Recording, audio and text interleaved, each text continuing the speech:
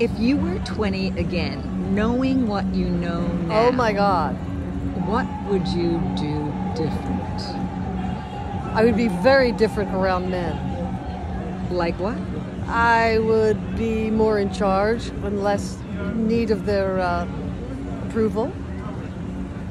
It would be fun to watch that unfold with the knowledge I have now.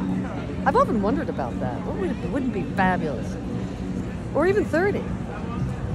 Yeah. Because now I don't need them. Then I was under some delusion that I did, some narrative I was feeding myself. But I think it has to do with biology more than anything. You know, your your your your your, your fallopian tubes and your ovaries are like, come on, man, we're ready to like drop one. And I think that's what I think that's a lot of what drives it. And now you don't need. I do not really need it. And I realize that platonic love is just as valuable and I'm, I'm in as much in need of platonic love as I am of sexual erotic love. But wait a minute, girl, I know you. You love desire. Yeah, I do. But you know what? I don't have just sort of desire, general desire. It's when I meet somebody who I desire. Ooh. Do you know what I mean? Completely. If you were 20 again, knowing what you know now, Oh my God. what would you do different? I would be very different around men. Like what? I would be more in charge and less need of their uh, approval. It would be fun to watch that unfold with the knowledge I have now. I've often wondered about that. What would it wouldn't be fabulous? Or even 30. Yeah. Because now I don't need them. Then I was under some delusion that I did, some narrative I was feeding myself. But I think it has to do with biology more than anything. You know, your your your your your, your fallopian tubes and your ovaries are like, come on, man, we're ready to like drop one. And I think that's what I think that's a lot of what drives it. So, how do you live a full, a full life? By being what you are, who you are. It takes a long time to do that, though. Because, you know, in your 20s, you know, you're busy trying to impress a boyfriend or you're busy trying to press, impress your friends. And over the decade, you begin to understand that that is, I, I don't have the energy for it. It's exhausting. Uh, so, uh, by doing what you want to do, what makes you happy, finding out what, what it is that makes you want to get up and do it.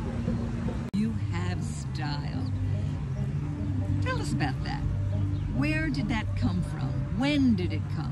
I've been like that ever since I was a little kid. I've liked, I've loved clothes. But I'll tell you, I don't care much about fashion, but I do love style because style is a is a response to life. And um, in terms of putting clothes together, just be fearless. If you think it's not going to work, try it anyway.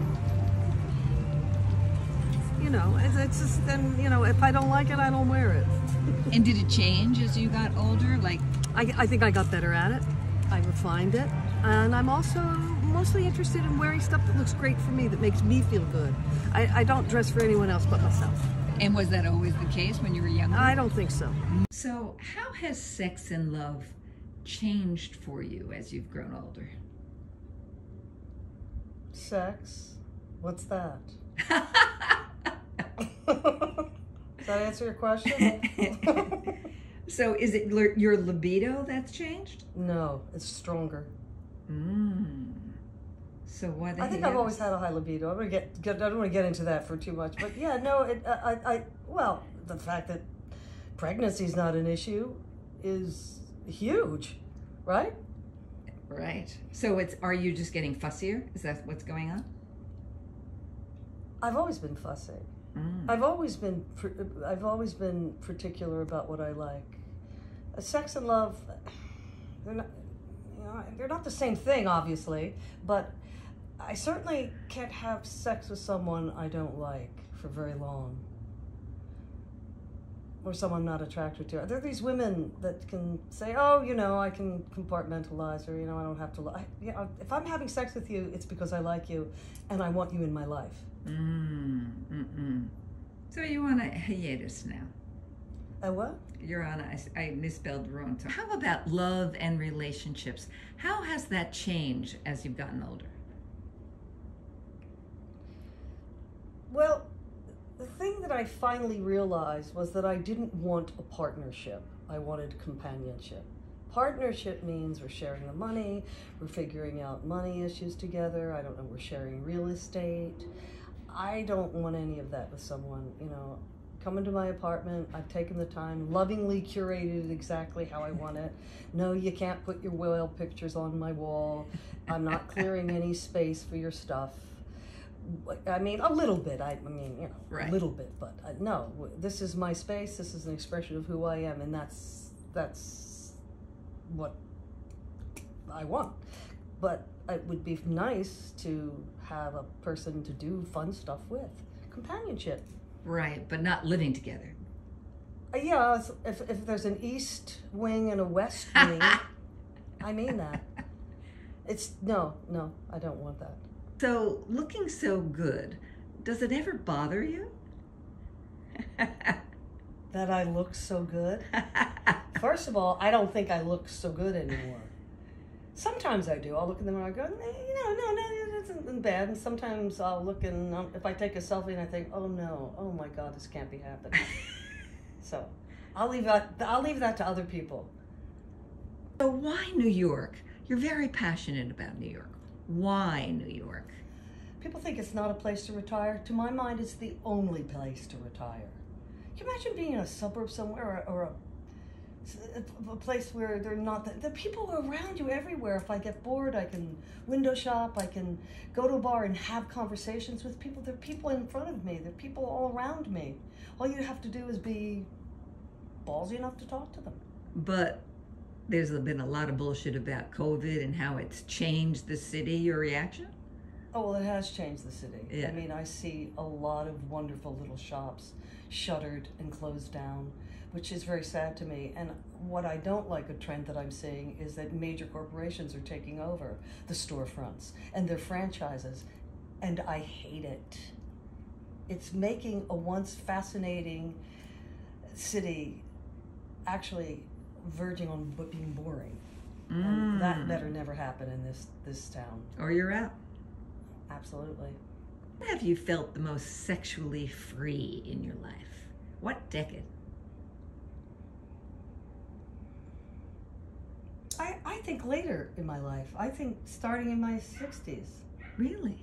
It's not that I wasn't free about sex, it's just that I feel more liberated about e- e- my expression of it. And, you know, asking for what you want. I think that's very difficult for women. Yes. I think it is, Asking for what you want. right. That changes. And I think men don't really want you to tell them what you want. I think they want to think they know what you want. And I had a don't- great, I had a great, a, a great voice teacher who said, "Men don't like it when women give themselves freely because they want to take it." Oof. I think he has a point, and this is a man who said that. So, how do you deal with your inner critic? Do you have one? Meditation. Do I have one? Doesn't everyone? I mean, I think that's the bane of everybody's existence. The inner critic.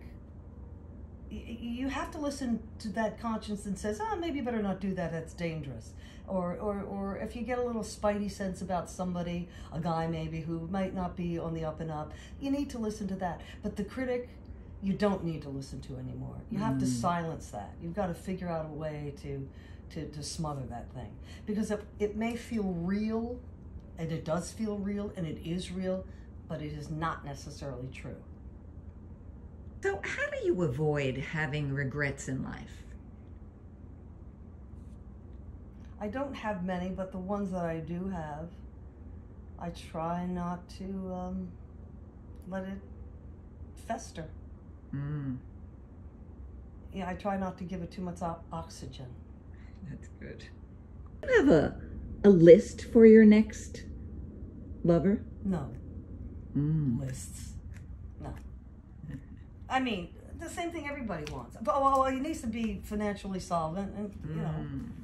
not to pay my way, to pay his own, uh, and uh, funny and intelligent and don't bore me. I mean, I could almost be abused before I could be bored. I mean, really, I can suffer most things in life but boredom. So, what is the biggest challenge you've had in your life? Well, my career was a huge challenge. I think the biggest challenge is accepting myself. Mm. And that has takes a changed? lifetime. That takes a lifetime. Yes, more so. But I had these ideas about what women should be like. Mm. And I, you know, I thought, you know, if, you know, to get a man, you have to be vulnerable and you know, don't talk a whole lot. And, you know, I used to have these, these, these monologues going on in my head, and I think now, tough shit. I am who I am. I can't imagine you ever. Oh, I did all the time, of course, like any other woman. Mm. And when? What? What decade did that change for you? What is it? I think it's this. a process. I Mm. think, you know, when you're in your 20s, you're always comparing yourself to, I don't know, a movie star or, you know, this girl who was more popular in school or, you know, I mean, when you're in high school and then in your 20s, you know, you have all kinds of insecurities as a woman. We have different ones than men do. And I think it takes a lifetime to finally say, yeah, come on, life is short. Uh, here, it, we're here. This is it. This is the game. This is not a rehearsal. You're who you are. You Mm. better figure out how to like it. You got yourself, and you better be good company for yourself because that's about all you have. I mean, you have friendships, but you know, your mind is the only thing that goes with you wherever you wind up. So,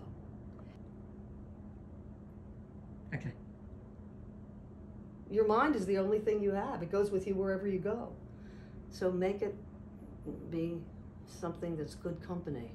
So you're still interested in a man in your life, right? Well, if only I liked them better. I mean, I'm not interested in women, but for some reason, most men I can't stand. Why is that? Well, they talk too much. Mm. I've been on a lot of dates. They have a difficult time listening. Um, yeah, I just mostly can't stand them. I bet you were a better dater when you were young. Um, yeah, I probably was. I didn't like them much then either, but I was better than I am now. And now there's less time to put up with it. Well, there's that, that's for sure. And I know pretty quickly that this isn't going to work. If I gave you a decade, I'm going to ask you give me a word that describes your sex life. 20s. Constant. 30s.